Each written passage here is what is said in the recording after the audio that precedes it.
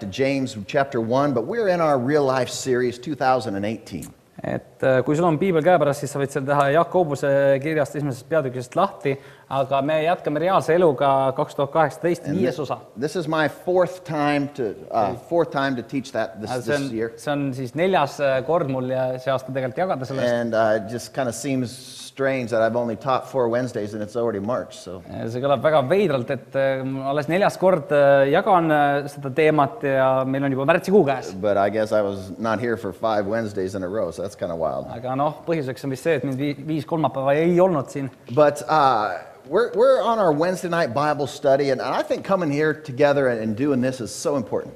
Ja, ja me oleme siin kolmapäeviti kokku tulnud ja õppinud ja ma usun, et see on väga oluline, mis me siin teeme. I believe when we come to church on a Wednesday night, it- it's what helps to fuel us. ma usun, et kui me tuleme kolmapäeva õhtuti siin siia kogudusse, siis see annab meile kütust juurde. Ja kui sul on vaja äh, kuskile edasi liikuda väega, siis sul on vaja ka mingisugust kütust, mida põletada. And so it's my desire, my prayer tonight ja see on minu tänane palve ja igatsus. is that tonight when you hear this message, that it's going to help you to burn. et täna, kui sa kuuled seda sõnumit, siis see aitab sul põleda. It's going to fuel the fire to help you to finish your week. see annab sinu tulele eh, leeki ja, ja kütust juurde, et sa saaksid nädala lõpuni korralikult I want to põleda. see you fulfill your destinies. sest ma tahan näha seda, kuidas sina saadad täide ja saadad korda oma, oma saatuse. I want to see you changed. ja ma tahan näha, kuidas sina muutud. I want to see you move on from where you are. ma tahan näha seda, kuidas sina liigud sellest paigast, kus sa oled, edasi. How many want to go on? kui paljud tahavad edasi liikuda? Amen. I don't want to stay where I am. mina ei taha jääda kinni sinna, kus ma olen. I don't want our church to stay where we are. ma ei taha, et meie kogudus jääks kinni sinna, kus me oleme. I want us to have a hunger and a desire for the next thing. tahan, et meil oleks nälg ja igatsus äh, uute asjade järgi. And what's the next thing for you? ja mis on see järgmine asi sinu Where jaoks? does God want you to go? What does God want you to do? kuhu Jumal tahab, et sa läheksid, äh, mida Jumal tahab, et sina teeksid? Man, I don't want you to get stuck. Ma ei taha, et sa jääksid kinni. I don't want you to get stuck where you are. ma ei taha, et sa jääksid kinni sinna, kus sa oled. I want you to know that there's so much more for you. ma tahan, et sa teaksid, et sinu jaoks on niivõrd palju enamat. And you can accomplish what it is that God has put in your heart to ja sa do. suudad saavutada seda, mis Jumal on sinu südamesse pannud. And so don't get stuck. Nii et ära jää kinni. Become more than you are. saa enamaks kui see, kes sa oled. And we do that ja me teeme seda by getting into the presence of God. läbi selle, et me läheme Jumala ligiolusse. Amen. Just amen. coming to spend some time to hear the word. veedame aega Jumala ligiolus, et kuulda sõna. And then you go and spend some time in your personal time ja with siis the sina Lord. võta ka isiklikult aega, et veeta aega koos temaga. And you submit to his word, alistu tema sõnale, submit to his ways, alistu tema teedele and we will have great success. ja meid saadab edu seetõttu. So thank you for coming. God bless you. No, I'm nii just et aitäh, et te tulite, võite koju minna. James chapter 1. ei äh,, Jakobuse esimene peatükk, James chapter 1, verse 23. Jakobuse üks kakskümmend kolm It says, Anyone who listens to the word but does not do what it says is like someone who looks at himself in the mirror. Äh, Jakobuse üks kakskümmend kolm, sest kui keegi sõna kuuleb, aga selle järgi ei tee, siis ta sarnaneb mehega, kes vaatleb oma ihulikku palet peeglist. And after looking at himself, he goes away and immediately forgets what he looks like. ta vaatles ennast, läks minema ja unustas varsti, missugune ta oli. How many of you have looked in the mirror and forgotten what you look like? paljud teist on kunagi peeglisse vaadanud ja unustanud, milline sa välja And näed. so what do we do? ja siis mida me teeme? We go find the next mirror, right? We go, siis "Ah, me läheme check it otsime juba järgmise peegli üles, et out. kus Hey, me vaatame Was. my hair good enough today? kuule, kas mu soeng on ikka korras täna? You know, does, does, is what I'm wearing, does it match? et kas see, mis mul on seljas on, on see nagu, kas How's see it looking sobib, back on there? I'm okei doing okay. kuidas mul siit tagant tundub, on okei You know, we, we, we like to look at ourselves. meil meeldib ennast vaadata niimoodi. And, and the Bible says when we hear ja piibel ütleb, et kui meie kuuleme and then we do not do what it says, ja me ei tee seda, mida me, meile öeldakse, it's like we look in the mirror and we forget. Ja siis see on nagu me vaataksime peeglisse ja unustaksime ära, milline me välja nägime. I've looked in the mirror sometimes and I think, who is that guy? ma olen vahest vaadanud peeglisse ja mõelnud, et kes see tüüp mulle seal otsa vahib, Because I'm expecting to see the 25 year old Barry and he's, he's nowhere to be found. sest ma ootan sealt, et mulle vaatab vastu kahekümne viie aastane pastor Barry, aga vaata, siis teda enam ei ole. And I'm like, who is that guy? ma mõtlen, kuule, kes see tüüp seal What on, happened to him? mis, mis selle tüübiga You juhtus know, and so sometimes we are surprised when we really take time to look. ja, ja vahest me võime väga üllatunud olla, kui me tõesti, tõesti võtame aega selleks, et vaadata ja mis meil seal peeglis on. But we really know what we look like. aga me tegelikult ju teame, millised me välja näeme. How many you know when there's a picture kui paljud teavad, et kui on mingisugune pilt, mis tehakse and, you're in the picture somewhere, sina oled selle pildi peal, that you're the first person you look for? siis sina oled esimene inimene, keda sa selle pildi pealt otsid. All right, this is my wife. Et kuule, et minu naine on selline, if it's a group picture et kui on mingi grupipilt and everybody else looks great, ja kõik teised näevad seal super head välja, but she's got maybe a little a wrong smile, aga tal võib olla näiteks naeratus kuidagi veider or maybe she has her eyes closed, või tal on silmad kinni 30 other people could look awesome. Siis kolmkümmend teist inimest võivad väga superkennad välja But when näha, she doesn't look good, oh, that's a horrible picture. aga kui tema ei näe selle pildi peal hea välja, siis on nagu appi, kui kole pilt. No, it's a great picture. Look at everybody. ei, We're ei, all see on happy., see on superäge pilt, vaata kui õnnelikud kõik No, no, no, on. that's a horrible picture. Throw that ei, one ei, away. see on kohutav pilt, viska see minema. Why? Because Mille we're pärast? looking at ourselves. mille pärast, sellepärast et me vaatame iseennast We want to know, we want to say, I, I want to look better than that. I don't care what everybody else looks like. me tahame ju öelda, et kuule, ma tahan ise hea välja näha, vahet pole, millised teised siin pildi peal on And. so we really, we know what we look like. aga tegelikkuses me ju teame, millised me välja näeme. So the point of the Bible is making here nii et see point, mida piibel üritab meile selgeks teha siin, is when you look in a mirror on see, kui sa vaatad and peeglisse you walk away, ja sa kõnnid minema, really you know what you look like. siis tegelikult sa ju tead, milline sa välja näed, Unless you're stupid. kui sa just tõsiselt idikas ei ole. How many people are stupid in here? kui palju siin on mõni loll, on siin mõni rumal inimene, on siin mõni loll? Oh, thank God I don't have to preach that. hea meel, et ma ei pidanud seda jutlustama. Listen, what the Bible is telling us aga mida piibel meile ütleb, is if we hear the word and we don't do it, on see, et kui me kuuleme Jumala sõna ja me ei tee seda, it's stupid. siis see on rumalus, It's stupid. see on rumalus We keep reading here in verse 25. It says, Whoever looks intently into the perfect law that gives freedom and continues in it, not forgetting what they have heard, but doing it, they will be blessed in what they do. kahekümne viies salm ütleb, kes on aga kummargil vaadanud vabaduse täiuslikku seadusesse ja sellest ka käib, ei ole unustav kuulja, vaid tegude tegija, see on õnnis oma tegemises. When we look into this, this word that gives us life, kui me vaatame ja süveneme sellesse sõnasse, mis annab meile elu, when we look into this word that gives us freedom, kui me vaatame sellesse sõnasse, mis annab meile vabaduse, meaning it's giving us something that we did not have, mis tähendab, et ta annab meile midagi, mida meil ei olnud, it's showing us a better way. ta näitab meile paremat teed, Man, when the Bible is speaking to us, when the Holy Spirit makes something real, siis kui piibel räägib meile, kui püha vaim muudab meie sees midagi reaalseks, take what you hear. siis võta see endaga kaasa, mida sa kuuled, Don't forget it, ära unusta seda, but apply it to your life. vaid rakenda seda oma elus. This is why I encourage people to take notes. sellepärast ma julgustangi inimestel märkmeid teha This is why I encourage people to, to go back and listen to messages again. sellepärast ma julgustan inimestel minna tagasi ja kuulata uuesti jutlusi, mis So varem on that you olnud, remember what it is that you've heard. et sa mäletaksid ja meenutaksid endale, mida sa oled kuulnud So you can apply these principles and these truths to your life. selleks, et sa saaksid rakendada neid tõdesid enda elus, That we are not stupid, et me ei ole rumalad, but that we would be blessed in everything that we vaid et do. me oleksime õnnistatud kõiges, mida me teeme. I want you to be blessed in everything that you ma do. tahan, et sina oleksid õnnistatud kõiges, mida sa teed. I want whatever you put your hand to to prosper. ma tahan, et mille iganes külge sa oma käed paned, see saab olla edukas. How many of you want that? kui paljud tahavad, et see oleks tema You elu? start a business, it will prosper. sa alustad äri ja see on edukas If you go to work, what you do will stand out above everybody else. et sa lähed tööle ja see, mida sina tööl teed, see paistab esile kõikide teiste seas. When you're in school, what you do stands out above everybody else. kui sina oled koolis ja käid koolis, siis see, mida sina teed, see paistab esile teiste tegude seas. This is what God calls us to. selleks on Jumal meid kutsunud, But He says, I want you to do it my way. aga ta ütleb, et ma tahan, et sa teeksid neid asju minu viisil. You know, there's an old song. Well, never mind. All right. Uh, do it God's way, not your way. tee asju nii, nagu Jumal tahab, mitte nii, nagu sina tahad. Do it God's way. tee seda nii, nagu Jumal ütleb, Do it God's way. tee seda Jumala So viisil. James is telling us when we hear the word and we don't do it, Jakobus ütleb, et kui meie kuuleme sõna, Jumala sõna, aga ei tee seda, it's like seeing yourself in a mirror and knowing that you're a mess. siis see on nagu sa vaatad peeglisse ennast äh, ja, ja näed, et sul on äh, juuksed sassis, mis iganes, näed kole välja And you don't do anything to change it ja sa ei võta midagi ette, et seda muuta, because you think, ah, it's just too much effort. sest sa mõtled, kuule, see nõuab liiga palju pingutamist.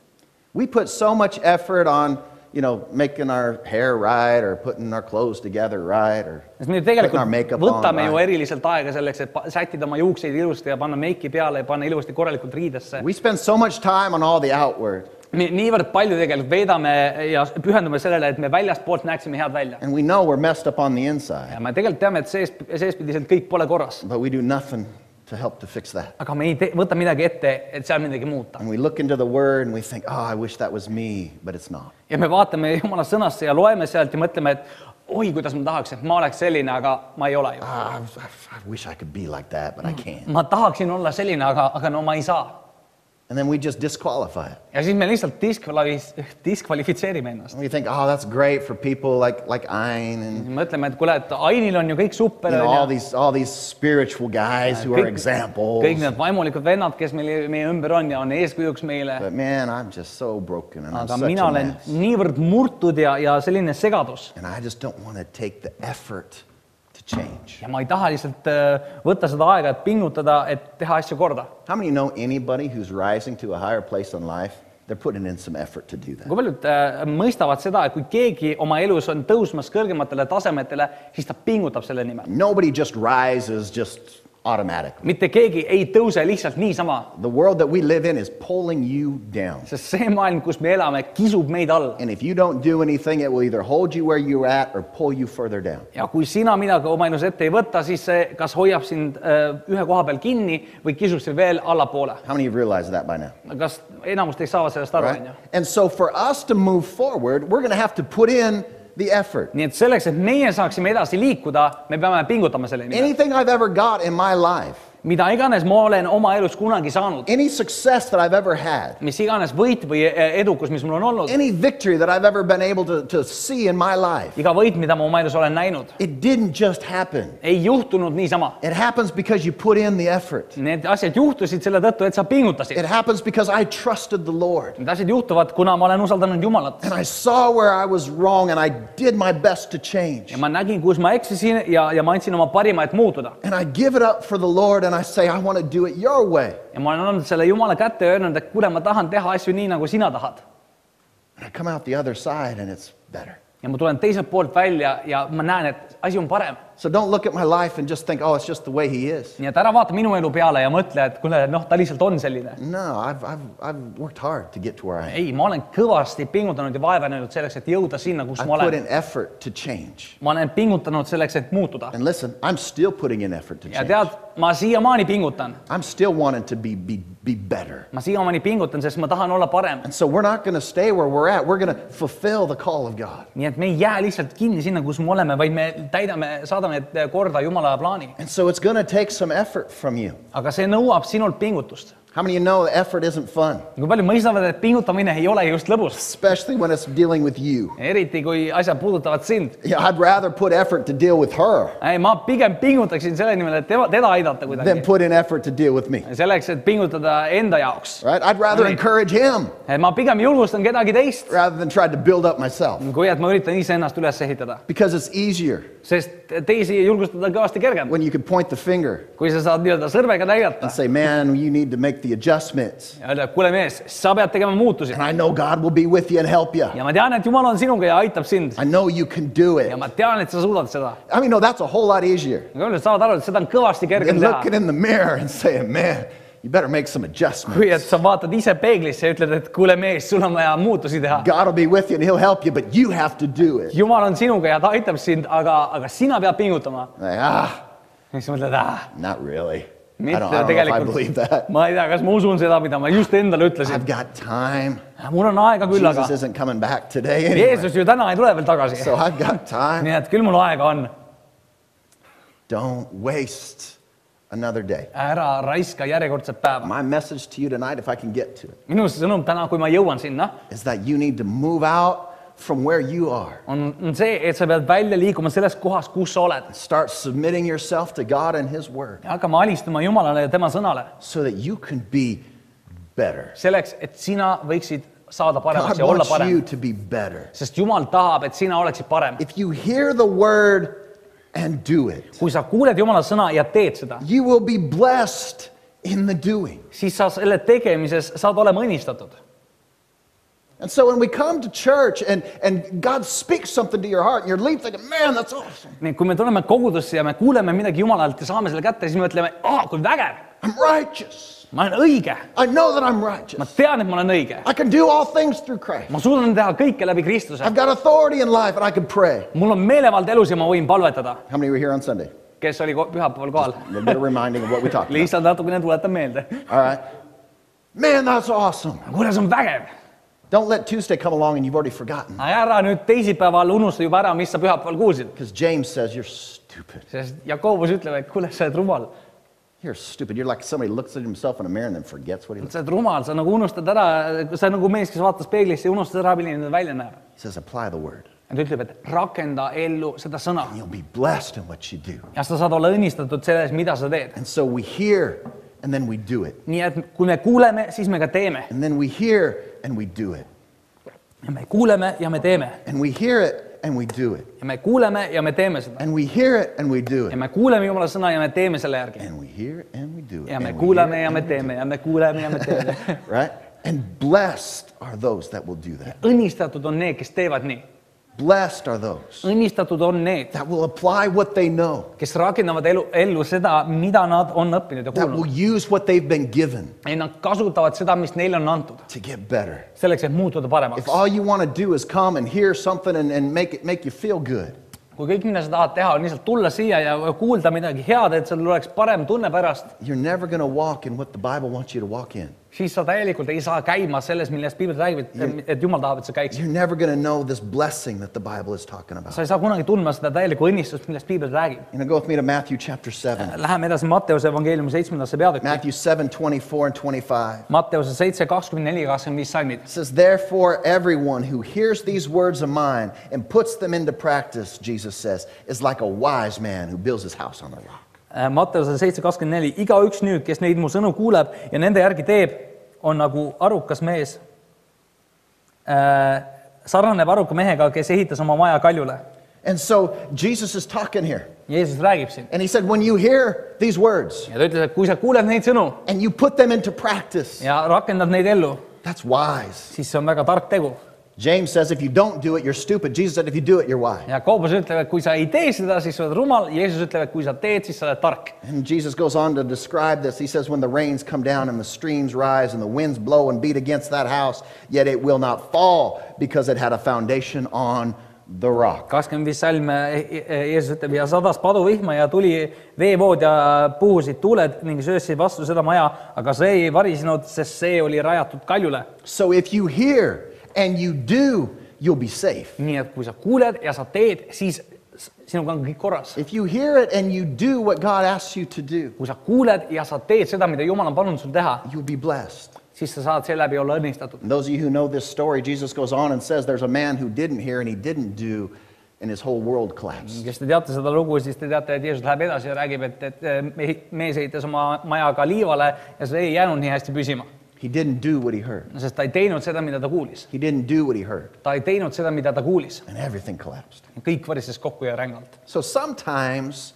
my, what, what, I I want you to see you can be your own worst enemy. ma tahan, et sa näeksid seda, et sa ise võid olla iseenda kõige suurem vaenlane. How many know you could be your own worst enemies? kui paljud saavad aru, et sa võid olla vahest omaenda va- kõige suurem vaenlane? You could stop yourself more than anybody else can stop you. sa võid iseennast peatada kõvasti enam kui keegi teine. You can hold yourself back more than, than even the devil can sa võid hold you iseennast back. tagasi hoida veel rohkem, kui isegi saatan suudab sind tagasi hoida. Because we are not doing what we know to do. sest me ei tee seda, mida me teame teha. But thank God Jesus shows us the way through this type of, of, of fight. aga tänu Jumalale, et Jeesus näitab meile ja räägib meile, kuidas sellest võitlusest jagu saada ja läbi minna. Because Jesus submitted what he knew sest Jeesus alistus sellele, mida tema teadis, to God's will. Jumala tahtele. And he said, I know what it is that you want me to do. ta ütles, et ma tean, mida sa tahad, et ma teeksin.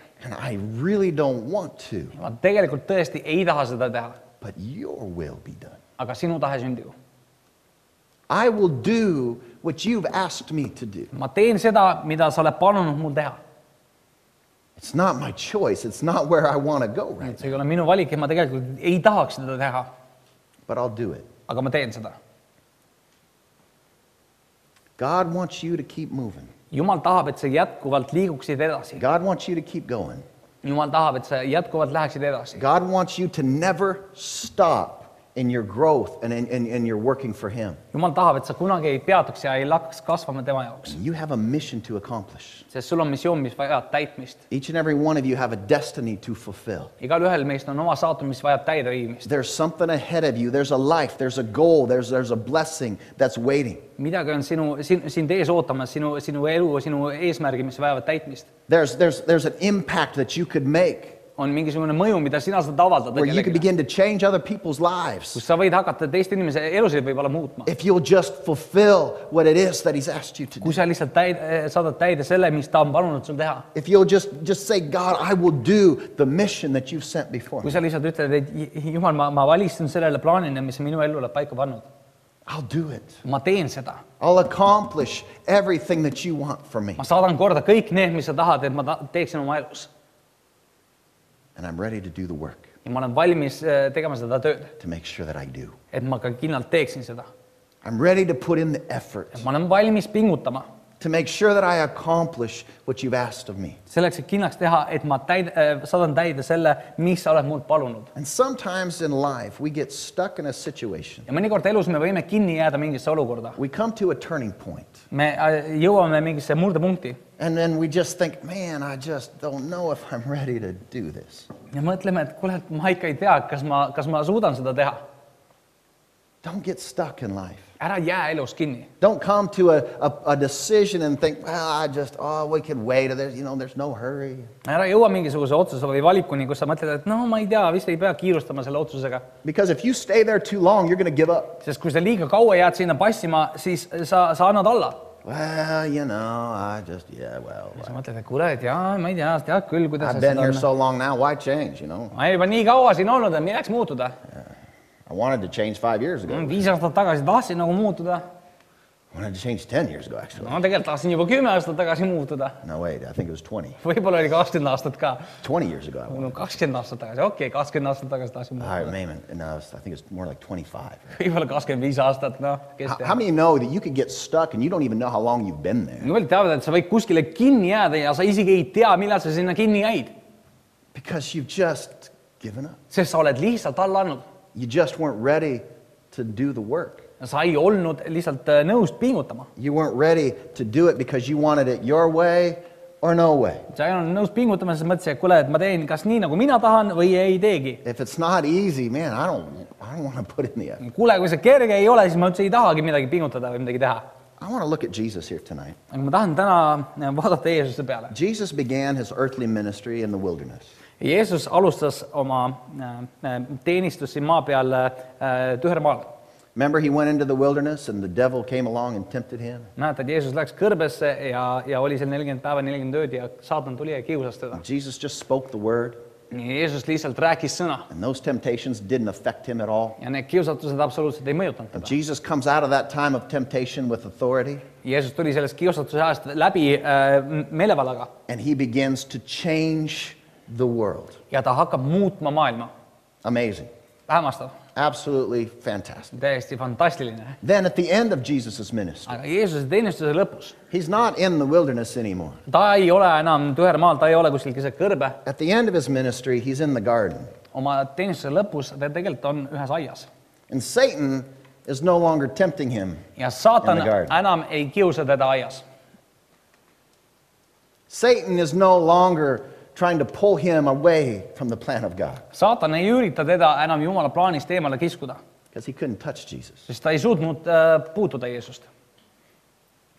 Jesus, when he is in the garden, kui Jeesus oli Ketsemani ajas, is not having to deal with the enemy. siis ta ei pidanud seal võitlema vaenlasega. When Jesus was in the garden, kui Jeesus oli Ketsemani ajas, he's not struggling against the devil. siis ta ei võidelnud seal saatanaga. When Jesus was in the garden, kui Jeesus oli aias, he's struggling with himself. siis ta võitles tegelikult iseendaga. He's struggling with what he's going to do now. ta võitles sellega, et mida ta nüüd peab tegema. And Jesus was in a fight in his soul. ja Jeesus äh, oma hinges võitles. And he said, I feel like I'm being crushed on the inside. ta ütles, et ma tunnen, et ma sisemiselt mind surutakse puruks. I feel like I could just die right now ma tunnen, et ma võiksin kohe surra lihtsalt. because of this fight that's going on on the inside. lihtsalt selle seesmise sõja tõttu, mis minus toimub. How many of you know if you get in your own way, kui paljud teavad, et kui sa nii-öelda saad oma tahtmist, you can be your worst enemy? siis sa võid olla oma suurim vaenlane. It's not no it's no longer anything you could blame on the devil or on you know somebody else. kui sa paned mööda, siis sa ei saa lihtsalt süüdistada kedagi teist või saatanat. Pila would have just been nicer to me, kuule, et kui Pille oleks lihtsalt mind paremini you kohelnud, know, maybe I would have had some more confidence. võib-olla mul oleks jul- julgust rohkem või enesekindlust Maybe parem. I could have done something with my life. võib-olla ma oleksin suutnud oma eluga midagi peale hakata But, she wasn't nice to me. aga kuna Pille oli ebaviisakas So now I'm just here. I'm just siis here. ma olen nüüd siin ja näed, siin, siin ma olen siiamaani jäänud. How it's it's not it's her, not me. et noh, näed, asi ei ole minus, asi oli Pilles. How many know some people are really stupid? paljud saavad aru, et mõned inimesed on kõvasti rumalad And how many know sometimes that's you? ja vahest oled see sina, Right? on nii. Don't be stupid. Don't get in your own way. aga ära ole rumal ja ära, ära aja ainult oma tahtmist. And so Jesus in the garden, it's it's just before the crucifixion. Kui Jeesus oli aias, siis oli öö, otse enne ristilöömist. Go with me to Mark chapter 14. palun läheme Markuse evangeeliumi neljateistkümnendasse peatükki. Jesus knows what's about to happen. Jeesus teab, mis temaga hakkab kohe toimuma. He's already told his disciples on several different occasions exactly what's about to ta happen. on oma jüngritele juba korduvalt mitmeid kordi öelnud, mis täpselt sündima hakkab. He said, I'm going to die ta ütleb, et ma suren and I'm going to rise again. ja ma tõusen taas ülesse. He said, Nobody takes my life. I, I lay it ja ta ütleb, down. et mitte keegi ei võta mult elu, ma annan selle ise. No greater love ei ole suuremat armastust than a man laying down his life. kui mees, kes annab oma elu. So he's all, he already knows what's going to happen. ta juba teab, mis hakkab toimuma He already temaga. knows the plan of God. ta juba teab Jumala plaani He knows what he is supposed to ja do. ta teab, mida ta peab tegema, And he's struggling inside to do it. aga ta võitleb oma sees, et seda teha. He's fighting himself inside. Am I going to do this? Or am I going to try to find another way? ta võitleb iseendaga enda sees ja, ja mõtleb, et kas ma nüüd teen seda või, või ma leian mingit muu mooduse going to look for an easier way out. äkki on mõni lihtsam äh,, kergem äh, nagu väljapääsutee. Let's read this here in Mark 14, starting verse 32. aga loeme siit Markuse evangeeliumi neljateistkümnendast peatükist ja kolmekümne teisest salmist alustame. It said, And they went to the olive grove called Gethsemane, and Jesus said, Sit here while I go pray. Markus neliteist kolmkümmend kaks ja nad tulid paika, mille nimi oli Ketsemani ja Jeesus ütles oma jüngritele, istuge siin seni, kuni ma olen palvetanud. So he told the group of boys to sit there, but he took three boys with him. ja ta ütles oma suurele grupile, et jääge siia, aga võttis kolm kutti endaga kaasa. He took Peter and James and John with him, and he became deeply troubled and distressed. ja ta võttis enesega Peetruse ja Koobuse ja Johannese ning muutus kurvaks ja tundis ahastust. And he told them, My soul is crushed with grief to the point of death. Stay here and keep watch with me. ja Jeesus ütles neile, mu hing on väga kurb, lausa surmani, jääge siia ja valvake. And he went on a little further and he fell on the ground and he prayed that if it were possible, that the awful hour awaiting him might pass him by. ja ta läks pisut eemale, langes maa peale ja palvetas, et kui on võimalik, see tund läheks temast mööda. Abba, Father, he cried out, everything is possible with you. Please take this cup of suffering from me. ja ta ütles, Aba isa, sinul on kõik võimalik, vii see karikas minust mööda And then listen to what he prays. ja siis kuula, mida ta palvetab. Yet I want your will to be done, not mine. kuid ärgu sündigu see, mida mina tahan, vaid see, mida sina tahad. He's struggling inside ta võitleb iseenda sees with the choices that he's about to make, with, the, with what he has to do to fulfill the call. nende valikutega, mis tema sees on ja, ja, ja, ja milline on tema eesmärk ja, ja tema eluplaan, tema kutsumus. And then verse 37.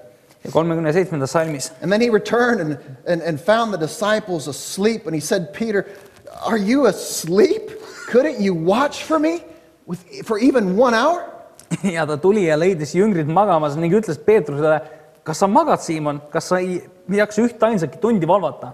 Keep watch and pray so that you will not give in to temptation, for the spirit is willing, but the flesh is weak. valvake ja palvetage, et ei satuks kiusatusse, vaim on küll valmis, aga liha on nõder. So it's night. These guys are tired. Nii et äh, hili, hilja õhtu on juba, nüüd tüübid on väga väsinud. Jesus is tired. Jeesus ise on väga väsinud. Peter, James, and John are tired. The other boys are probably already all crashed out. Peetrus, Jakobus ja Johannes äh, on, on ka väga väsinud arvatavasti, teised juba magavad ammu. You know, and, and he's saying, Come on, you guys. nüüd, et kuulge, te kolmekesti, There- There's, there's, I know you're tired, but there's something more that we need to get through this. et ma tean, et, et te olete väsinud, aga meil on midagi enamat vaja, et sellest kõigest siin läbi tulla, mis I don't want you. guys to fall to temptation. ma ei taha, et teie langeksite kiusatustesse. And so we need some power from on high. Pray. nii et meil on vaja kõrgelt vägi, väga abi.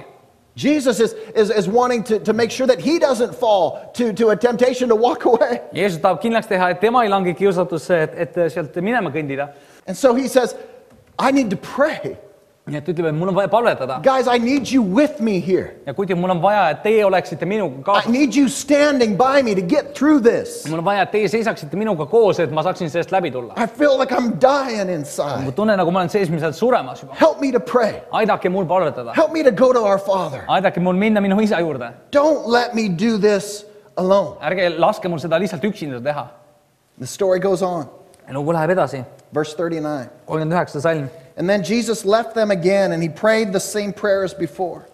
ja ta läks äh, taas ära ja palvetas, lausudes needsamad sõnad. And when he returned again, he found them sleeping, for they couldn't keep their eyes open and they didn't know what to say. ja kui Jeesus tuli tagasi, leidis ta jüngrid taas magamas, sest nende silmad olid rasked unest ja nad ei teadnud, mida talle vastata. Then Jesus went away and he came back again the third time. Jeesus läks eemale ja tuli tagasi kolmas korda. And he said, All right, go ahead and have your rest. ja ütles, et teie muu, et minge ja puhake. But no, the time has come. The Son of Man must be betrayed into the hands of sinners. Teie muudkui magate ja puhkate, küllalt tund on tulnud, vaata, inimese poeg antakse patuste kätte. Get up, let's be going. Look, my betrayer is here. tõuske üles, läki, enne mu äraandja on lähedal. The third time Jesus came back, it was a completely different story. kolmas kord, kui Jeesus tuli tagasi, siis tegelikult lugu oli juba hoopis teine. The third time he came back, he was no longer saying, Guys, why aren't you with me? et kolmas kord ta ei- enam ei ütle, et kuule, et eh, miks te minuga ei ole. Why aren't you supporting me? I thought you loved me. miks te ei toeta mind, et ma ju arvasin, et te armastate mind. You said you never leave me. Te ütlesite, et te kunagi ei hülga mind. I said some of you are going to betray me, and all of you said, No, none of us. mina ütlesin, et, et keegi teist eh, reedab minu ja te ütlesite ei, mitte keegi teist. Now you're sleeping in my time of need. ja nüüd magate siis, kui mul on teid kõige enam vaja. The one time I need you guys, and you're sleeping. mul on teid vaja ja te magate. Come on. kuule, halloo. He comes back the third time, and he's like, Go ahead and sleep, guys. kolmas kord tuleb tagasi, ütleb, et aga no magage siis. It's cool. vahet pole. Oh, wait, don't sleep. We got to go. tegelikult ärge magage ka, meil on vaja minna juba. My accusers are coming to take me süüdistaja on away. juba, süüdistajad on juba siin, on vaja minna edasi. I've been betrayed. mind on reedetud My night has just begun. ja minu öö on alles alanud. Yes, we're tired, jah, me oleme väsinud, but this is not even close to being the end. aga see ei ole ligilähedalgi lõpule. It's time to go. On aeg minna, It's time to go out of the garden. on aeg minna aiast välja. I love the transformation here. mulle väga meeldib see muutus, mis siin toimub And this just kind of hit me over the last couple of days. The transformation of Jesus in the garden. ja see, see muutus, mis Jeesusega siin toim-, toimus selles aias, see on mind viimased päevad nagu väga hästi kõnetanud. Jesus went into the garden fighting himself. Jeesus läks sinna aeda võideldes iseendaga. He wasn't fighting the enemy. He wasn't, wasn't trying to, to you know, overcome you know, a, a- a sin. ta ei võidelnud vaenlasega, ta ei üritanud kuidagi mingist patust üle saada, He was fighting within himself. ta võitles iseeneses And he wanted to go an easier route if there was any other way. ja ta otsis nii-öelda kergemat äh, väljapääsuteed, kui on see võimalik. And he's praying, God, if we could figure out something else here, let's, let's do that. ja peal, palub seal, et jumal, et noh, kui on mingi muu võimalus, siis teeme teistmoodi. Have you ever had that prayer? on sul olnud kunagi sellist palvet? God, uh, there's got to be a better way than this, right? kuule, jumal, peab ju kuidagi teistmoodi saama kui seda, niimoodi, niimoodi ei pea ju tegema You got to ometigi. want, you got to want more from me than this. This is, I, I, we, we got to find out a better way. jumal, sa ju igatsed minule midagi paremat, onju, peame mingi parema tee leidma, onju. So it's in the garden aga siin aias, where, where you get in your life. kui sina jõuad oma elus nii-öelda sinna ai- Maybe aeda not, Gethsemane, but maybe a garden type of a place võib-olla mitte Getsemani aed, aga mingis, mingis aeda nii-öelda, where you go to God and you say, God, is there a better way? see koht, kus sa lähed Jumala ette ja ütled, Jumal, et on, on olemas parem tee äkki. I want to be spiritually strong and I want to be mature and I want to be able to do great things. jumal, ma tahaksin olla vaimselt tugev ja vaimselt küps ja teha suuri asju, But I really don't want to do all the effort. aga ma ei taha nagu nii väga pingutada. God, is there an easier way? jumal, kas on mõni kergem väljapääsu tee? Can you just anoint me and just bless me? jumal, kas sa lihtsalt ei võiks mind võida niimoodi, et, et lihtsalt ma lihtsalt saaksin olla õnnistatud? Can you just lift me out of here on your heavenly wings? kas sa lihtsalt ei saaks mind sellest olukorrast välja tõsta oma taevaste tiibadega Take me to my destiny. ja vii mind minu saatusesse? Lord Jesus, I will give you praise. oh, isand Jeesus, ma ülistan sind. How many know those weak moments that we have? Those prayers are never even. Kui paljud teavad ja saavad aru, et vaata, kui me oleme nendes nõrkades kohtades, et sellised palved nagu, Those prayers aren't answered. need palved nagu üldjuhul vastust ei saa. Don't try to figure out an easier way. Don't try to, to read the Bible and say, but okay, that's, that's great, but let me find a better way. ära ürita leida mingisugust kergemat väljapääsu äh,. Äh, I m sorry. Don't read the Bible and say, Ah. okay, that's great, but I'm going to find a better way. et ära, ära loe niimoodi piiblis mingit asja, et oo, seda ma ei taha, aga, aga äkki läheme siit kuidagi ringiga mööda ja leiame mingi kergema mooduse. It's got to be easier than that. That's, that's pretty tough. asi peab olema natukene kergem kui see, mis siin kirjas on, et noh, noh, mingi kergem moodus peab olema. Now, I'll tell Towry what to do. I'll, no tell, I'll speak the okei word. ma, ma räägin jumala sõna Taurile ja räägin talle, mida sõna ütleb, et mida tema peaks man, tegema. There's got to be a better, easier way for me. aga kuule, aga minul peaks ju ikka olema mingi kergem väljapääsu tee, mingi lihtsam moodus on ju You. know, sometimes we're thinking it's just going to cost me too much. vahest mõtleme, et kuule, et see läheb mulle liiga kalliks maksma või. There's got to be another way. This is, ju- this is too expensive. peab olema mingi parem moodus, et see läheb liiga kalliks. This is too much for me. This is, Then- this is not what I, what I was really planning. kuule, et see on liiga palju minu jaoks, et, et, et ma ei oodanud, et see nii palju läheb. I really don't want to have to sacrifice anything. ma tegelikult ei tahaks nagu ohverdada midagi. Let, let me just let me just get to there without having to do anything. et eh, teeme äkki niimoodi, et ma jõuan sinna, ilma et nagu peaks pingutama, et sinna jõuda. Listen, the kingdom of God doesn't work that way. aga tegelikult Jumala kuningriik ei toimi sedasi. The kingdom of God doesn't there there is no blessing without sacrifice. Jumala kuningriigis on hästi niimoodi, et ei ole mingisugust õnnistust ilma mingi ohvrita. There is no reward without the effort. ei ole tasu pingutamiseta. The closest thing kõige lähedasem asi would be how we get saved and our lives be transformed. lihtsusele on, on see, see, kuidas me saame päästetud ja kuidas me muutume. That we believe in our heart and we say with our mouth et me usume oma südames ja tunnistame oma that suuga. Jesus Christ is Lord and I'm saved. Jeesus Kristus on isand ja, ja, ja, ja me, me oleme päästetud It. doesn't get much easier than that. That's just pretty pretty pretty cool. sellest lihtsamaks enam minna ei saa, see on päris lihtne. But listen, it still takes the effort. kuule, aga see ikkagist nõuab pingutust. Because how many of you know some people could come to church their whole life and never say it? kui paljud teavad, et, et on inimesi, kes võivad kogu oma elu käia koguduses ja, ja mitte kunagi öelda neid. Some people could come to church every Sunday and never step across that faith line and make Jesus Christ. mõni inimene võib iga nädal käia kirikus ja, ja, ja, ja kuulda neid sõnu ja, ja mitte astuda üle selle usujoone ja, ja võtta vastu, vastu see otsus. Never truly make a commitment to God. Et ei pühendu kunagi korralikult Jumalale. They just come to you know feel good. Nad lihtsalt tulevad selleks, et no tunda ennast toredalt ja, ja saada neid külmavärinaid nii-öelda. You know, just get that warm feeling because I was in church today. ah, et oo, mul on selline soe tunne, sest ma käisin koguduses, But I don't want to make the commitment aga ma ei taha pühenduda, because I'm not ready yet. sest ma ei ole veel valmis. What are you saying?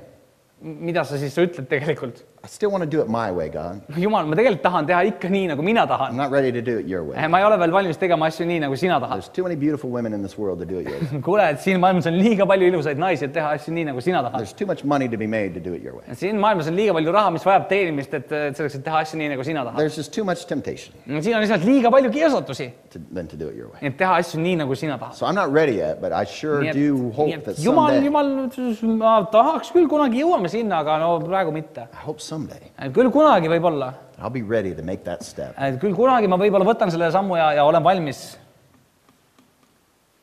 There is no reward without the effort. aga tead, ilma pingutamiseta ei ole mingit tasu. You've got to sacrifice some things to get the blessing. sa pead ohverdama mõningaid asju selleks, et saada õnnistusi. There's a price that needs to be paid in your life. sinu elus on ka asju, mis, mis, mis vajavad hinda, et mis vajavad maksmist And I don't know what it is that your price is, ja ma ei tea, mis nii-öelda sinu hind on, but let me tell you, whatever it is that God asks you to do, it will be worth it. aga ma ütlen, et mida iganes Jumal palub sul teha, see on väärt seda ohvrit. If you can get through the garden, sest kui sa vaid saad sellest aiast läbi minna, if you could come out the other side, kui sa tuled teisel pool välja, if you are ready to make the sacrifice kui sa oled valmis ohverdama and to do it God's way, ja tegema asju nii, nagu Jumal tahab, I guarantee you, you will be so glad that you did. siis ma garanteerin sulle, et sa oled väga õnnelik, et kui sa teed. I guarantee you, Jesus is not in heaven today ma garanteerin sulle, et Jeesus ei ole täna taevas, saying, God, why didn't you have another way? öeldes, et Jumal, miks sul ei olnud teist teed? I prayed and asked you, why didn't you come up with a s-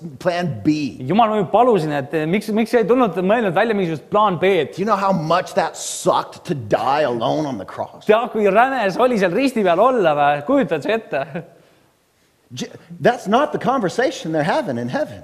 see ei ole see jutuajamine, mis seal taevas toimub. Jesus is like, I'm so glad Jeesus on I nagu paid the price. väga õnnelik, et ta sai maksta selle hinna. I'm so glad I hea did meel, what you asked me to do. isand, mul on hea meel, et ma sain teha seda, mida sa palusid mul teha, Because now look, sest vaata nüüd, look at the people in the church. vaata kõiki neid inimesi koguduses, Look at the people all around the world. vaata kõiki neid inimesi ümber maailma, Look at all these people that have already come to see us. vaata neid inimesi, kes on juba tulnud, et näha meid Look what we're doing. ja vaata, mida me teeme, Look what that, that, that sacrifice has done. vaata, mida see ohver on teinud And all of heaven is worshiping the Lamb for the sacrifice that was made. ja kogu taevas ülistab seda talle selle ohvri pärast, mis sai toodud. He's not complaining. ta ei virise praegu, He's glad that he did it. tal on hea meel, et ta seda tegi If you will choose to make the sacrifice that God is asking of you, ja kui sina otsustad teha seda ohvrit, mida Jumal on sinult palunud, if you will let go of some things, if you will pick up some kui things, sa lased lahti mõningatest asjadest ja korjad üles mõningaid asju, you will be so glad that you did. siis sa oled väga tänulik, et sa oled seda teinud. You will be so rewarded and so blessed because of your sacrifice. Sinu ohvri tõttu sa sa võid saada niivõrd hea tasu lihtsalt. And others will be blessed ja because of your sacrifice. teised inimesed võivad saada õnnistatud sinu ohvri tõttu. That's how the kingdom of God works. sedasi toimib Jumala, Jumala kuningriik That we are blessed, ja me oleme õnnistatud and it doesn't stop there. ja see ei jää sinna pidama. We are blessed, why? me oleme õnnistatud, mille pärast? So that we can be. selleks, et me saaksime olla. We are blessed so that we could be a blessing. me oleme õnnistatud selleks, et meie oleksime õnnistuseks. What's not in that verse there is there is sacrifice to be blessed so that we could be a mis blessing. seal salmis on puudu, on see, et selleks, et saada õnnistust, on vaja ohver, ohverdada, et sa saaksid olla õnnistuseks. You must sacrifice to be a blessing. sa pead ohverdama selleks, et olla õnnistuseks. You must sacrifice and do it God's way. sa pead tooma ohvreid selleks, et, et, et teha asju nii, nagu Jumal tahab. And there's more available to you than I think many of us know. Ja sinu jaoks on palju enam äh, äh, nagu kättesaadav, kui paljud meist teavad. There's a life that you could live to impact people, sa võid elada sellist elu, mis, mis mõjutab inimesi, where people are going to be so glad that you've made the change. kus inimestel on niivõrd hea meel, et sa oled muutusi oma elus teinud. Where we're going to be able to help others to come to know Jesus Christ as their Lord and Savior. me saame tuua inimesi äh, isanda Jeesuse Kristuse tundmisesse, Because there's people that you could reach for Jesus that nobody else can reach. sest on inimesi, kelleni sina nii võid jõuda, kelleni keegi teine ei või jõuda. Success is never free. edu, edukus ei ole kunagi tasuta asi. Success costs something. edu, edukus äh, äh, maksab midagi. Question is, are you willing to make the effort? küsimus on selles, et kas sina oled valmis pingutama Are you re- willing to, to make the sacrifice kas sa oled valmis tooma seda ohvrit to be able to have the success that God desires for you to selleks, have? et sind saadaks see edu, mida i- isand igatseb, et sul oleks. Are you willing to pay the price? kas sa oled mak-, valmis maksma seda hinda? Are you willing to take up the cup? kas sa oled valmis tõ- tõstma seda karikat? Jesus said, God, Father, take this cup from me. Jeesus ütles, et, et, et, et isand, võta see karikas minust, minu, lase see karikas läheb minust mööda.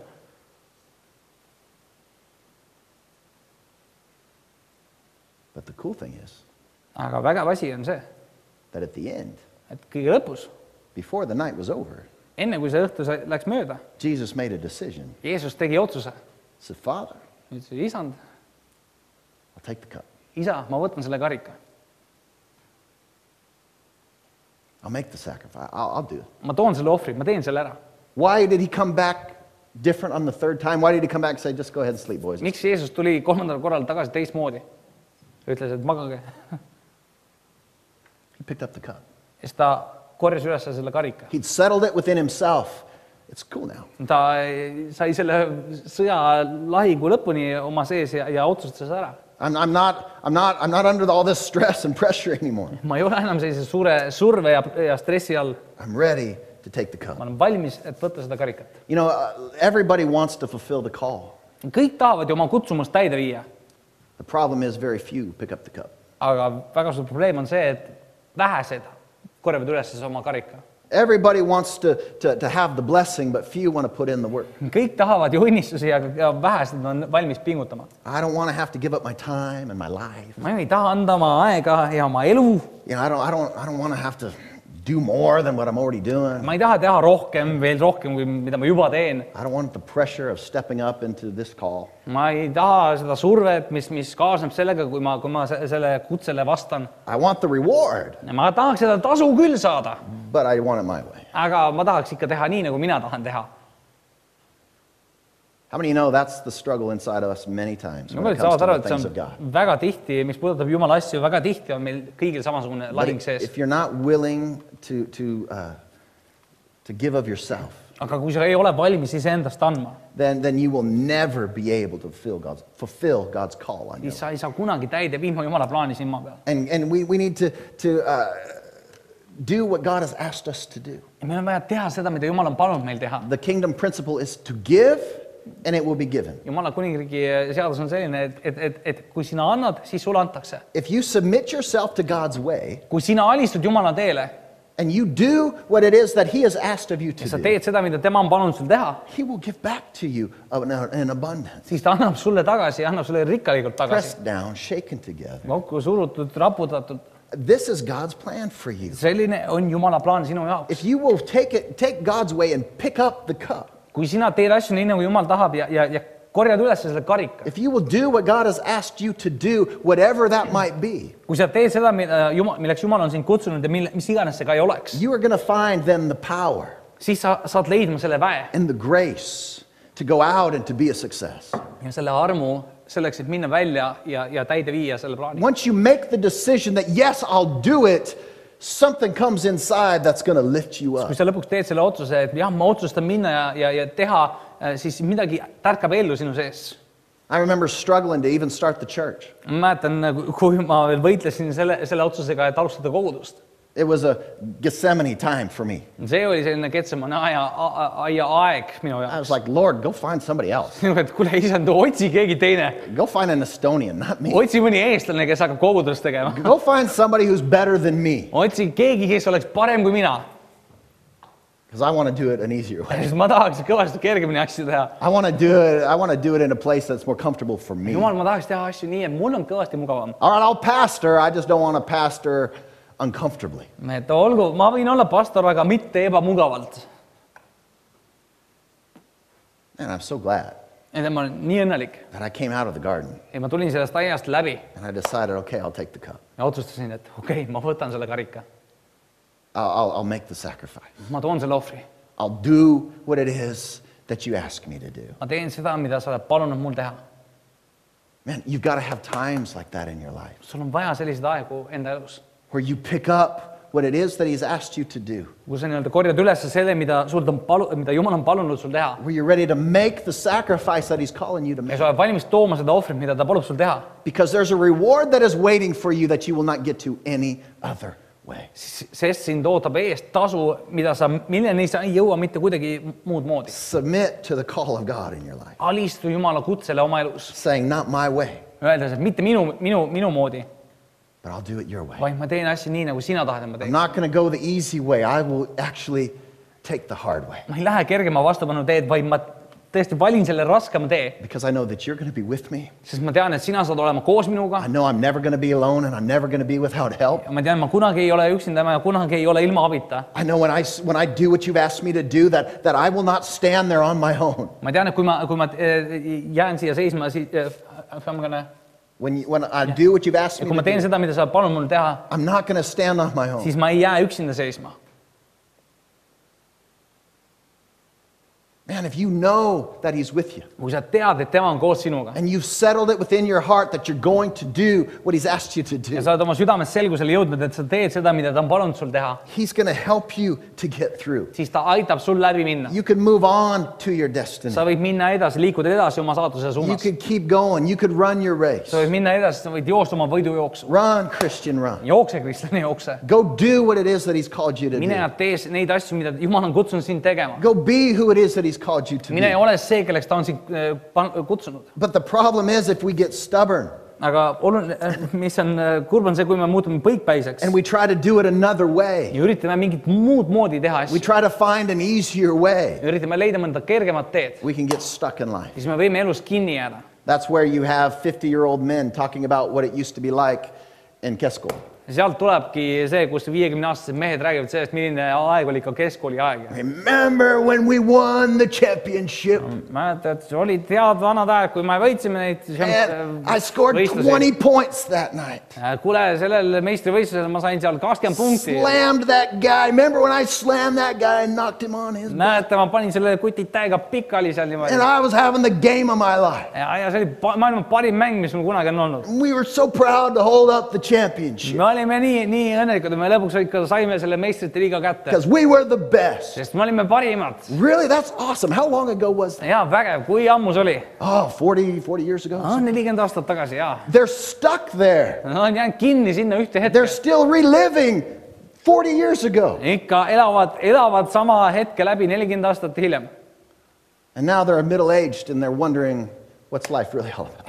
ja nüüd nad on kesk, ikka jõudnud ja mõtlevad, et kuule, et aga milles elu seisneb, Because they've never moved on to the next phase. sest nad kunagi ei, ei liikunud edasigi järgmisesse faasi. They've never left where they were to go to where God wants them to be. Nad ei, ei, ei, ei, ei hakanud liikuma edasi sinna, kus Jumal tahtis, tahtis, et nad läheksid. And so many times people get stuck. ja väga in tihti life. inimesed jäävad elus kinni They get stuck in a phase. ja näevad, jäävad mingisse faasi elus kinni, And like, this is just the way it is for me. et asjad lihtsalt minu elus ongi nii. You know, if you give in to what, what it is that God has called you to do, kui sa, kui sa äh,, if you will give in to this, if you will do what kui sa alistud, alistad sellele Jumala plaanile, kui sa, kui sa annad ennast Jumala, sellesse, mis Jumal on sinu jaoks, you'll still remember your successes. You could still remember winning the siis championship. sa võid ikkagi mäletada neid võite ja, ja neid meistriliigasid, mis sa oled võitnud. You could still be, be, be re- remembering all the good things that you've done, sa võid ikka toetada meelde neid, neid häid asju, mis sa oled saavutanud,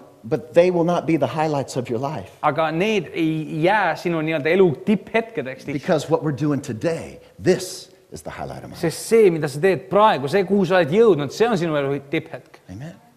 You could be 50 years old in the highlight of your life. sa võid olla viiekümne aastane ja oled oma elu tipphetkes. How do I know? kuidas ma tean? I got some gray hairs to prove it.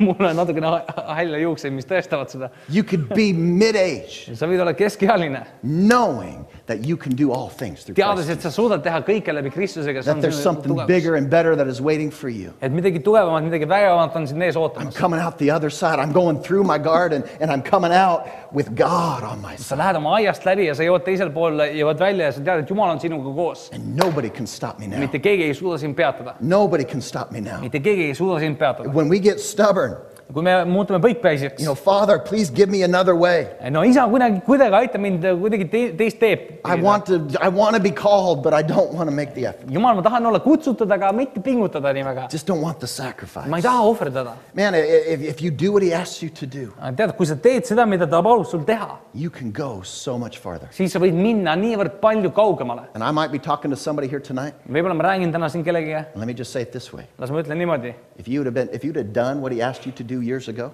kui sa oleksid teinud seda, mida ta palus sul teha juba aastaid tagasi, you would already be where he wants you to be. siis sa juba oleksid seal, kus ta tahab, et sa oleksid. Maybe you've gotten stuck in an area of your life aga võib-olla sa oled mingis eluvaldkonnas kinni jäänud and you haven't gone to where he wanted ja you sa to ei ole be. läinud sinna, kus ta tahtis, et sa läheksid. If you would have already moved, you would already be there. kui sa oleksid juba liikunud, siis sa oleksid juba seal. But instead, we're still complaining about, I just don't know if I can make it. selle asemel me viriseme praegu ikka veel seda, et kuule, et aga ma ei tea, et miks ma oleksin teinud ja ma ei tea, kas ma oleksin ja My viits. ja ma ei viitsi. right? That's, I love that. That's probably the best Estonian saying there is. That's, that's one of the you messed me up there. Sorry. Yeah, uh, that uh, et see on üks parimaid väljendeid et lihtsalt eesti I keeles. Just, I just don't, don't have the energy, don't even care. et ma ei hooli, ma, ma, ma ei viitsi, ma ei jaksa, ma ei, isegi poogin kõigest. You know, you, uh, for instance, you want the great marriage and you prayed for it and you asked God for it, näiteks sa tahad täiuslikku abielu ja sa oled oodanud seda, palunud Jumalalt seda, but you're not willing to make the sacrifice of your own habits aga sa ei ole omaenda harjumustes nõus tooma ohvreid and you get stuck. ja sa jääd kinni. You know, or, or, you know, you want God to prosper your business and you want to be blessed, või sa tahad, et Jumal õnnistaks su äri ja sa tahad olla õnnistatud, but you're not willing to give up what you already have. aga sa ei ole valmis ära andma seda, mis sul juba on. And you're not going to pay your tithes and your offerings ja ja sa ei maksa oma kümnist ja ohvreid ei too, because I got to keep what I've got. sest mul on vaja hoida seda, mis mul on, You're going to get stuck. siis sa jääd kinni. So it's one thing to want the blessing and to believe for the blessing, nii et üks asi on tahta õnnistust ja, ja, ja, ja uskuda õnnistust believe for the great marriage, ja usud, usud seda parimat abielu. believe for your businesses to prosper, usud, et su, et su äh, ärid lähevad edukalt edasi. believe for the, the, the, the, the you know, influence you could have on others. usud, et sul on see mõjuvõim olemas, et sa suudad muuta ja mõjutada That's maailma all great. ja see on vägev. But then what are you going to do?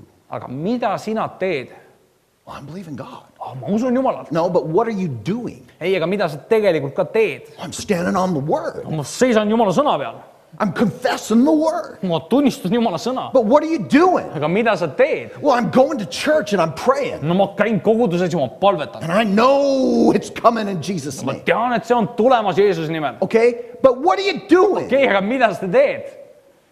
I think the church kind of gets lazy sometimes. ma usun, et kogudus vahest muutub väga laisaks.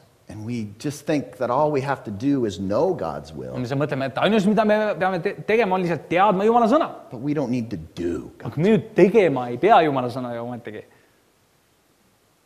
When Jesus is praying, your will be done, not mine. kui Jeesus palus, et Jumal, sinu tahe sündigu, mitte minu, It wasn't that Jesus didn't know what the will of God was. siis asi ei olnud selles, et Jeesus ei oleks teadnud Jumala tahet. It was clear. see oli ilmselge, He had already preached it ta oli juba seda ise jutustanud for months now juba already. mitu kuud.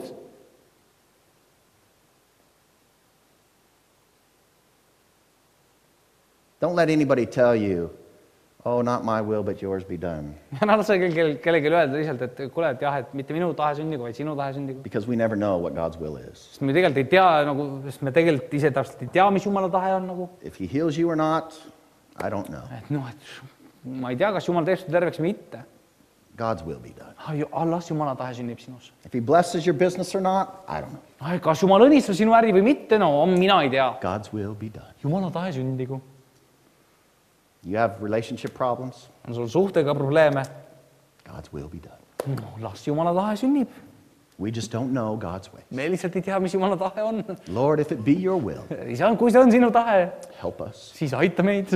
But if not, aga kui ei your will be done. oh,, siis sinu tahe sünnigu.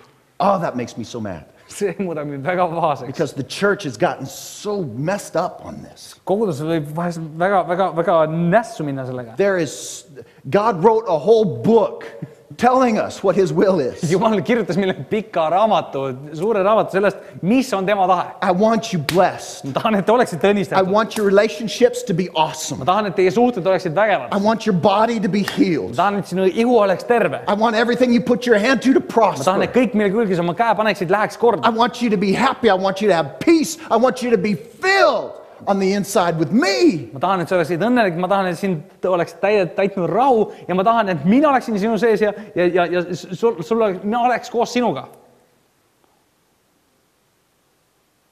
Well, God, if you really want those things, your will be done. aga jumal, kui sa tahad neid asju, siis oh, sinu tahe sünnib. That's not where you put that prayer. ei, see ei ole see koht, kuhu sa selle palve paned. You put that prayer when you know God's will. Selle palve paned sa siis, kui sa tead Jumala tahet And even though it's not going to be easy, ja kuigi see ei ole kerge, you take a step of faith and you say, I trust you, God, siis sa võtad ususammu ja ütled, et Jumal, ma usaldan sind and your will be done in my life. ja sinu tahe sündigu minu elus. Because I'm believing you for that. ja siis ma usun sinult seda.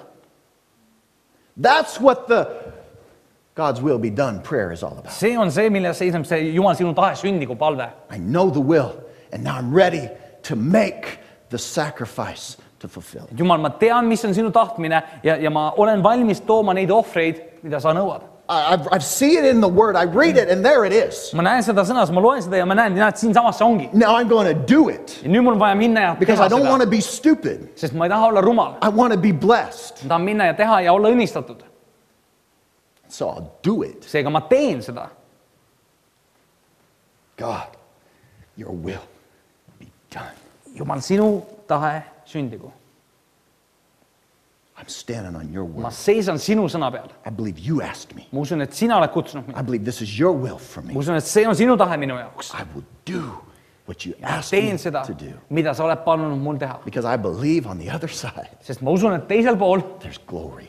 On On the other side, I will bring you glory. teisel toon ma sulle au, On the other side, you will lift me up. teisel pool tõstad sina mind On the other side, I will be able to be a bigger blessing. teisel pool saan mina olla suuremaks õnnistuseks On the other side, you will be able to use my hands and I will be able to reach people. teisel pool sa saad kasutada minu käsi ja, ja ma võin jõuda inimesteni. God, I believe there's a call jumal, ma usun, et minu elule on kutse and I'm ready to fulfill that ja call. ma olen valmis seda kutset täitma. So, God, your will be done. jumal, sinu tahtmine sündigu, Come out of your garden. tule välja oma aiast, Don't stay at a place of inner turmoil and, oh, what should I do? And I really don't to. ära jää mingisse kohta, kus sa lihtsalt võitled iseendaga ja mõtled, ma ei tea, mida teha. Get to the place where you can face those around you and say, it's time to go. jõua sinna kohta, kus sa saad minna koos nendega, kes on sinuga koos ja ütled, et kuule, et nüüd on aeg edasi minna, Let's go. lähme, It's time to go. Let's go. et aeg minna, läheme koos. Oh, but you were just stressed. aga sa alles olid nii suure stressi all ju. No, it's, it's all, it's good. ei, I'm ready. korras, ma olen valmis, Let's läheme go. edasi, Let's go. lähme. Got a job to do. mul on vaja töö Got some, things mul on to take care, of mul on now. paar asja, mis vajab tegemist. Come on. Let's go. Läki nüüd lähme koos. Come on. Come on. Man, I love this. Listen, This is what I get. see, see on see, mis ma nagu saan sellest. Jesus goes into the garden, Jeesus läks aeda, needing the boys to be the support. vajadas seda, et ta, ta sõbrad seal oleksid tema jaoks toeks And how many olemas. know when you're in the garden, you need support? nagu paljud teavad, et kui sa oled nii-öelda ise seal aias, siis sul on vaja tuge. When you've got that inner turmoil and you're crushed inside, kui sul on see sisemine lahing ja, ja sa oled seespidiselt kokku surutud, it is so good to have somebody come and say, Man, I'm believing God with you and you're going to be all right. siis sul on hea, kui keegi tuleb sinu külje alla ja ütleb, et kuule, tead, ma usun koos sinuga Jumalalt ja, ja, ja ma tean, et kõik saab korda. I'm with you. ma olen koos sinuga If you need me, call me. ja kui sul on vaja, siis helista mulle. I'm praying for you. ma palvetan sinu pärast. You're not going to stay here. You're coming out. sa ei jää siia, sa tuled siit välja, tuled siit läbi, You're coming out. tuled välja sellest. How many know we need that? kui paljud teavad, et meil on vaja seda? How many want to be that for somebody else? kui paljud tahaksid ise olla keegi selline kellegi teise jaoks We? need to be looking, meil on vaja vaadata, looking for otsida. people that are in the garden. meil on vaja otsida ise ka, näha neid inimesi, kes on seal So we aias can, go stand beside them and say, You can do et this. saaksid minna nende külje all, öelda, et kuule, et kui sul on vaja, ma olen sinu jaoks olemas, I believe in you. ma usun sinusse, You can do it. sa suudad.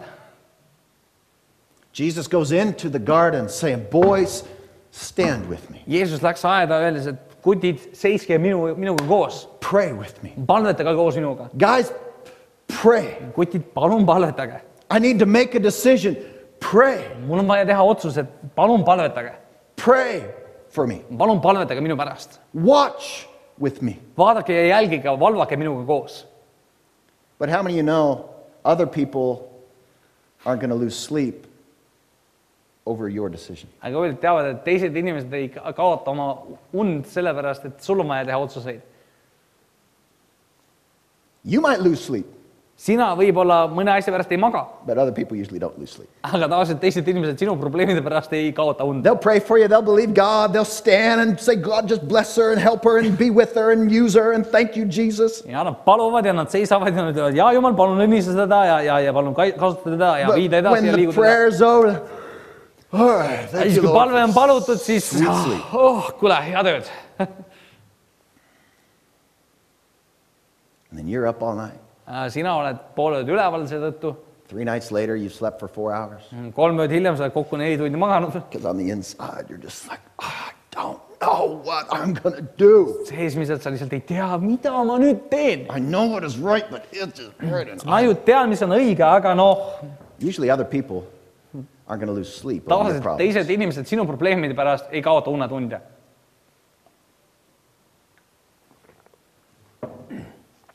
But Jesus comes to a place aga Jeesus jõudis kohta, when he comes back and says, All right, guys, kus ta tuli tagasi it's okay. ütles, et kutid, okei okay,, I'm ready. ma olen valmis, I'm ready.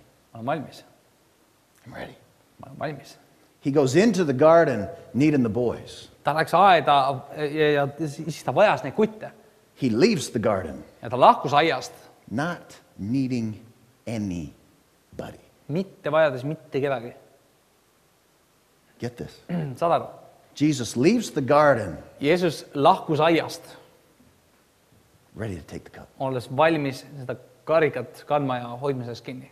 And he knows that nobody else can help him, et mitte keegi teine ei saa teda aidata that. he's in this all by himself. ja ta teadis, et ta seisab selle asjaga ise. Nobody else can pay the price, especially Peter. Mitte keegi teine ei saanud maksta hinda, mida tema pidi maksma, isegi eriti mitte Peetrus. John certainly can't do that. Johannes ka kindlasti mitte. And James calls people stupid, so he can't do it. Koobus ütleb, et inimesed on rumalad, siis noh, tema ka ei saa. So I have to do it. nii et mina pean seda tegema. I'm ready. ma olen valmis. Let's go. Läki. They come and they say, We're looking for Jesus. Nad tulid ja nad ütlesid, et kuulge, me otsime Jeesust. And he says, I am. ja Jeesus ütles, et mina olen. And when he said it, the whole army fell on their backs kui ta ütles, siis kogu armee pani pikali seal, because he was speaking from a place of authority. sest ta rääkis sealt, kus tal oli meelevald. There was no more turmoil. ei olnud enam mingisugust ängistust tema He was sees. no longer being pressed. ta ei olnud enam surve all. The Garden of Gethsemane was the place of the pressing. Getsemani aeg, aed oli see koht, kus teda suruti ja pressiti. That's what Gethsemane means. It's where they took the o- olives and they crushed it to make olive oil. seda see tähendabki, et seal, seal, seal aias pressiti oliive ja seal suruti neid kohti, tehti õli.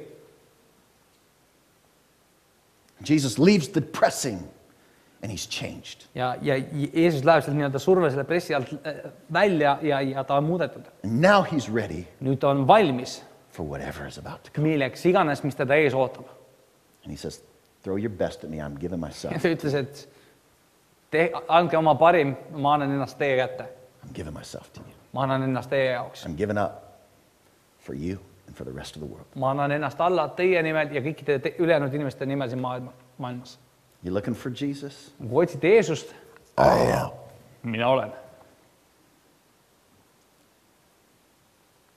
Are you the Son of God? kas sa oled Jumala poeg? You said that I am. sa ütlesid, et ma olen. He was ready. ta oli valmis. Bible said he went without a cry. piibel ütles, et ta läks, ta läks ilma nutmata. They beat him with a whip until his back was ripped open, teda peksti piitsaga, kuni tema selg oli täiesti ribadeks kistud and he never opened his mouth. ja ta ei teinud kordagi oma suud lahti. He hung on a cross ta rippus ristil and became sin for the world. ja sai patuks maailma eest. Never cried out. kordagi ei hüüdnud, Until the very end, kuni kõige lõpuni, when the Father, the Spirit of God, left him kus isa, isa vaim läks temast välja, because he could no longer be a part. sest ta ei saanud enam olla osa temast This was the thing that was so stressful. ja see oli see, mis oli kõige pingestavam As the Jeesuse jaoks. Spirit of God left Jesus, oli see, kus, kus isa vaim lahkus Jeesusest and that was the torture. ja vot see oli see piin And that's when he cried out, My God, my God, why have you forsaken? me?" ja see oli see koht, kus ta hüüdis, et isa, miks sa oled mu maha jätnud And then with another breath, he breathed and he was gone. ja siis veel korra hingas ja siis ta oli läinud How could he do that with so much? Kuidas ta võis kõigest sellest läbi minna niivõrd suure That väega, when he died, the earth shook, et kui ta suri, siis kogu maa värises. saying, That's my creator. see on minu looja. The sun went black. päike läks pimedaks. How can I shine? You've killed the creator. ja kuidas päike sai särada, kui, kui te olite looja, looja hävitanud? All creation mourned. And the soldier that stood there said, Oh my God. That must have been the son. see pidi olema jumala poeg.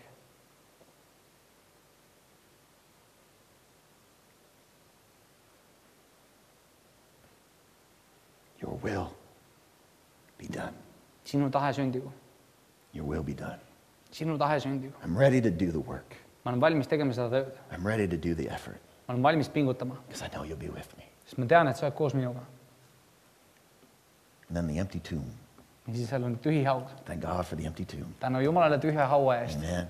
It was not over when everybody thought it was over. kui inimesed arvasid, et kõik on läbi, siis ei olnud asjad mitte veel läbi. And over the next couple of weeks, we're going to be getting more into this, and it's going to be ja awesome. selle paari nädala jooksul me süveneme üha rohkem ja rohkem sellesse. Easter is awesome. ülestõusmispühade aeg on vägev. Amen.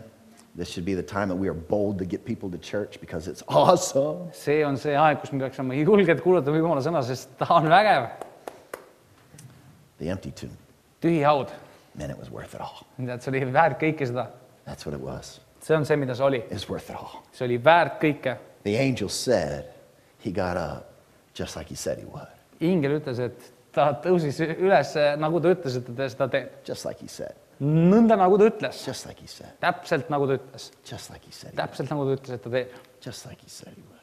täpselt nagu ta ütles, et ta teeb, Just like he knew täpselt nagu ta teadis, that if you'd make the price, et kui sa, kui sa täidad selle hinna, the world would be changed. siis maailm saab muudetud.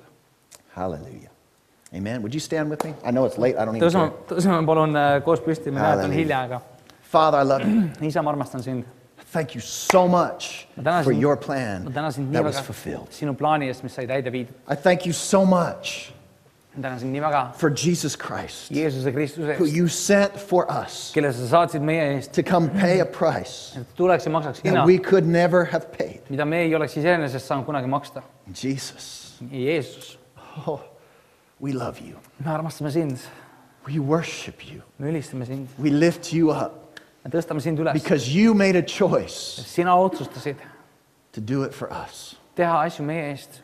You made a choice to fulfill the plan sa tegid otsuse, et täide viie plaani, because you were the only one that could. sest sa olid ainus, kes suutis seda. Thank you, Jesus. aitäh sulle, Jeesus, Thank you for the price. aitäh sulle hinna eest, Thank you that you made it for us. aitäh, et sina, sina äh, suutsid seda meie jaoks. Thank you that you opened up a way for us to be able to be with you forever. aitäh, et sa avasid meie jaoks võimaluse olla koos sinuga igavesti We receive that.